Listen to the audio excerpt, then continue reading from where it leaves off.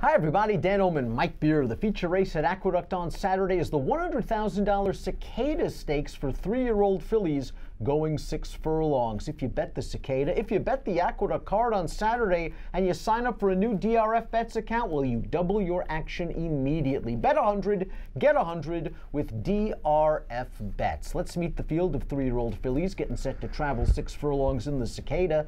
And Mike, the number two, Stones in the Road, is walking in the footsteps of her sire, Bustin Stones. Bustin Stones was undefeated. Stones in the Road, a perfect three for three, and she's just shown brilliant early speed in all three of her starts. How much was she helped last time out when Forgotten Hero, expected yeah. to be a pace challenger, didn't break very well? I mean, she was helped a lot in that race. Um, and this isn't to take um, anything away from what she's done so far because she's actually shown herself to be pretty good. Um, but she had all the best of it last time. Once um, Forgotten Hero had trouble at the start, this horse got absolutely loose. The pace wasn't fast, and she was in complete control of that race, and she won very easily at the end. Two starts back it was sort of a similar situation. She just got loose on a gold rail and never faced a challenge. Um, I happen to think she's pretty good, Dan, but the waters are getting deeper here. There's a lot of speed in this race. It seems like she's not just going to stroll to the front in this race. This might be a good shot, to, uh, a good race to take a shot against her if she's a short price. She will face open company for the first time, and as Mike mentions, other speeds, as we see from the Timeform US Pace Projector, which has Stones in the Road sitting third, an unfamiliar spot for Stones in the Road if this pace projector after a quarter mile comes true. They are expecting a fast pace to be set by the number one Fangirl, who beat three next out winners when winning her maiden last time out. She's got a nice little pedigree. One of the horses she beat, Gracetown, is back in this field. Yeah, I mean, listen, she ran well last time. Her first career start, she got sort of hooked up on the pace. She had good speed in that race. She wound up dueling. She got tired in the stretch. Last time, sort of a similar situation. She did um, get clear early, but she had to use her speed from the rail in that race just to get to the front, and then she took on the challenge, um, was able to hold on at the end. I think she ran well, Dan this just feels like a really tough spot for her because you know that she has to go from the inside. There's speed to her outside. She's just going to have to run a lot better than she's running her first two starts. The aforementioned Forgotten Hero got off to a great start to her career, winning both of her starts as a two-year-old, although a little bit fractious in the gate before she won the New York Stallion mm-hmm. Series. And then in her first start at three, she kind of got pinched back at the start yeah. and never got an opportunity to show what she can do. Those are some competitive Beyer speed figures for a two-year-old filly with an alert break, she can be right up there, close to the pace. Yeah, I think this is a, it's a, not unreasonable to expect her to just run a lot better in this race. I mean, to me, she lost all chance in the Franklin Square at the start of that race, squeezed between horses, wound up at the back of that field, and you could just see Mike Luzzi decide to just we'll just sit here. We're not going to send her or rush her into the race. We'll sit and we'll take a shot. It, it didn't work out for her last time. She is a lot better than that. Um, I'm expecting her to run a much better race this time. Like Stones in the Road, she will face open company for the first time. Gracetown was nosed by Fangirl two starts back. She came back to win a maiden in her second start of the form cycle. Will be wheeling back in a little bit less than three weeks for the Cicada.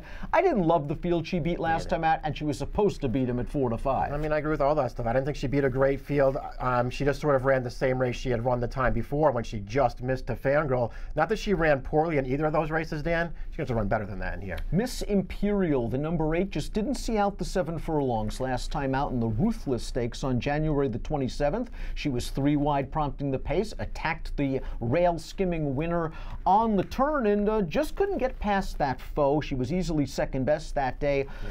She draws the outside post, which means that she can keep an eye on the horses to the inside. And as Timeform US says, there is a fast pace expected. Just look at this Jason Servis formulator fact. Over the past year, with three year old dirt sprinters returning off a 45 to 60 day layoff, that's 9 for 11, 11 for 11 on the board, a $3 ROI. I know that field hasn't come back strong, the hmm. ruthless, right. but Miss Imperial has the speed to find a good spot just off the pace. Yeah, and it just feels like that's the kind of trip she'll get in here. That's how they rode her in each of her first two wins, um, two and three starts back. She had speed to get forward, but they weren't, you know, attacking the pace. They're just tracking it and then taking over. I thought she was impressive winning both of those, and I think she ran fine last time. And I'm sort of with you that the, the seven furlongs feels like it worked against her It's also worth noting that was a very strong rail day at Aqueduct. She could not get over to the inside. That's where the winner was.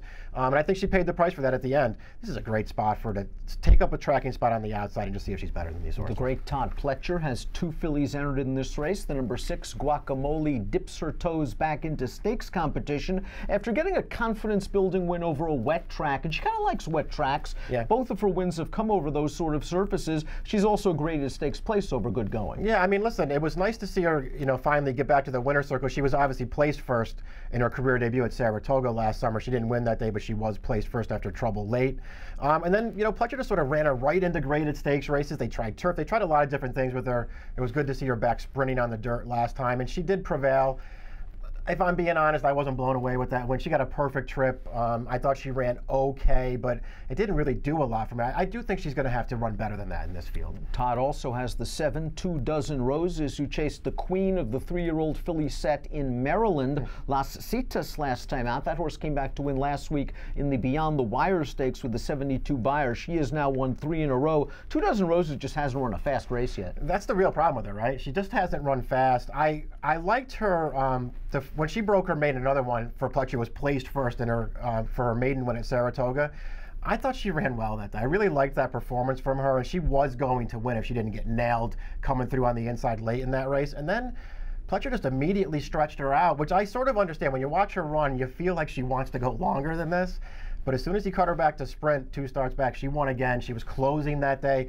I just sort of felt like, I don't know that I think she's good enough to win this, Dan, but there's a lot of speed in here. I think she will be running at the end of this race, and she should be a good price in this race. And like Miss Imperial, cutting back to six could be key. Her Yeah. two best races have come at six furlongs. Mattress Mac ships in the five. Workaholic wheeling back on, oh, about two weeks rest after finishing third against the boys at Mahoning Valley. Uh, pair up Beyer tops in her last two races. Uh, she's got a little tactical speed. I think there is a question of class and whether she's better on a synthetic surface. Yeah, those are all, all valid questions. Listen, for the most part, her races since her debut sprinting on the turf, I mean, they're fine. She sh- shows up every time and runs her race. She's just a little slow for this field. Let's take a look at our top selection for the Cicada Stakes, the feature race at Aqueduct on Saturday. We're both going to go back to Miss Imperial, the number eight, hoping that the cutback in distance and this nice outside post position leads to a good trip in the second flight while in the clear. Yeah, I just think she deserves another chance off that last one because I think she actually ran a winning race last time. This, the cutback to six probably works for her, and I love where she's drawn on the outside. Mike's going 837. I'm going 8265 and the $100,000 Cicada Stakes, the feature at Aqueduct. Make sure to get down with a DRF Bets account. Sign up